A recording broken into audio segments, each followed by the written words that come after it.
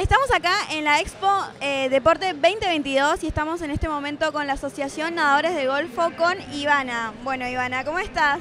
Todo bien. Contame un poco eh, qué es lo que hacen, cuáles son las actividades que proponen ustedes. Eh, nosotros nadamos en la costanera local, somos nadadores del Golfo, hacemos aguas abiertas, tenemos clase los días sábados a las 11 de la mañana para adultos y a las 13 horas para los niños.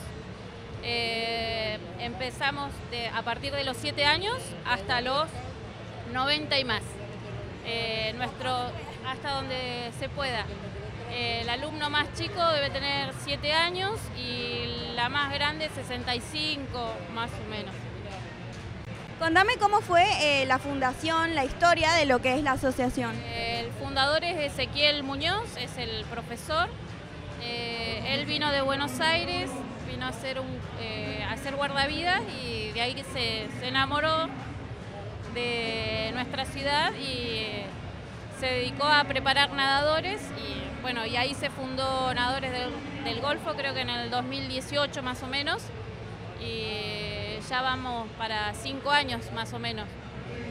Eh, nadando tenemos 200 más o menos nadadores. Contame, ¿en dónde los podemos encontrar?